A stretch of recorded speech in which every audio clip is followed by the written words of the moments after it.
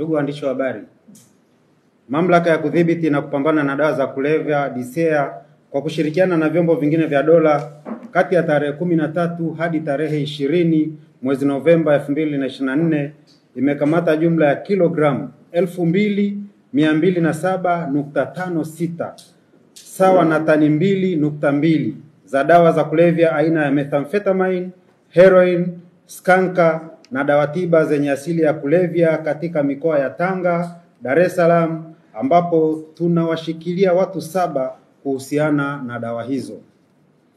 Kati ya dawa hizo tulizozikamata, skanka ni kilogramu elfu moja mia tano nukta sita methamphetamine kilogramu mia sita themanini na saba nukta saba sita heroin kilogramu kumi na tisa nukta mbili na chupa kumi za dawa tiba zenye asili ya kulevya aina ya fentanyl.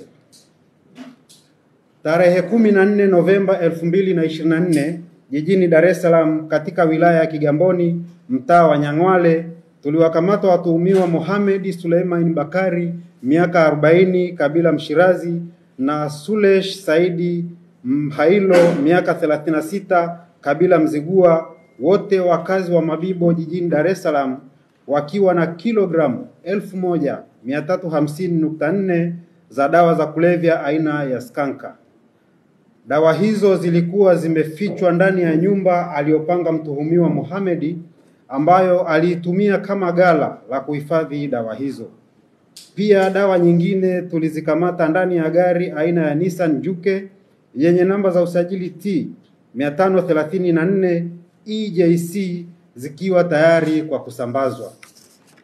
Siku hiyo hiyo katika mtaa wa Pweza Sinza E wilaya ya Ubungo jijini Dar es Salaam tulimkamata mtuhumiwa Idi Muhammad Idi miaka arobaini na sita kabila Mzigua mkazi wa Chanika Buyuni akiwa na kilogramu mia moja hamsini nukta mbili za skanka akiwa amezificha kwa kuzichanganya kwenye maboksi ya sabuni na baadhi ya dawa hizo alizificha kwenye boksi lililotengenezwa kwa bati ngumu na kupachikwa kwenye chesis ya gari aina ya Scania yenye namba za usajili wa nchi ya Afrika ya Kusini LN 87 XJGP ambayo imekuwa ikitumika kusafirisha bidhaa mbalimbali kutoka nje ya nchi.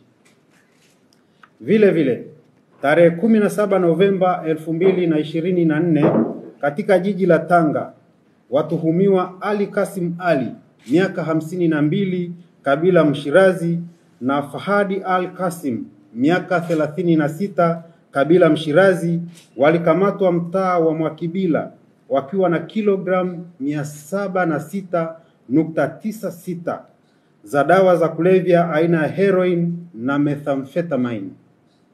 Kati ya dawa hizo baadhi zilipatikana ndani ya gari aina ya Toyota Noah yenye namba za usajili T 714 EGX huku nyingine zikibainika kufichwa kwenye nyumba aliyopanga mtuhumiwa.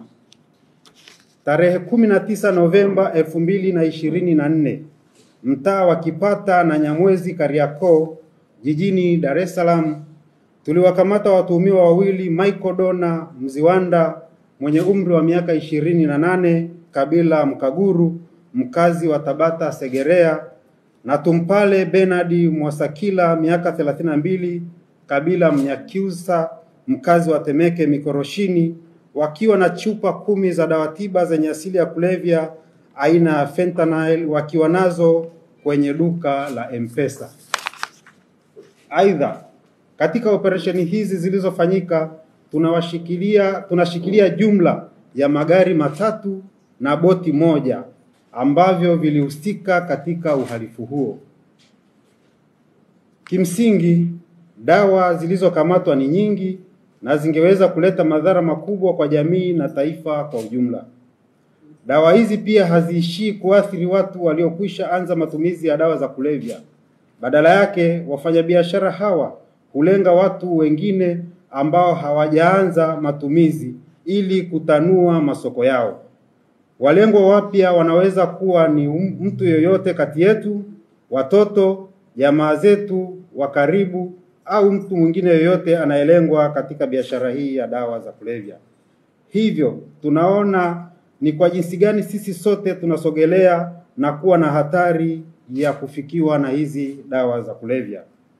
Kadhalika, tumebaini kuwa wahusika wa biashara haramu ya dawa za kulevya wamekuwa wakitumia mbinu mpya ya kupanga nyumba ambazo zimekuwa zikigeuzwa kuwa magala ya kuhifadhia dawa za kulevya huku wao wakiishi maeneo mengine. Hivyo tunatoa rai kwa wamiliki wote wa nyumba kuwa makini katika kupangisha nyumba zao. Tunawatahadharisha kuwa nyumba yoyote inapotumiwa kwa shughuli ya dawa za kulevya ni kinyume cha sheria na inaweza pia kutaifishwa.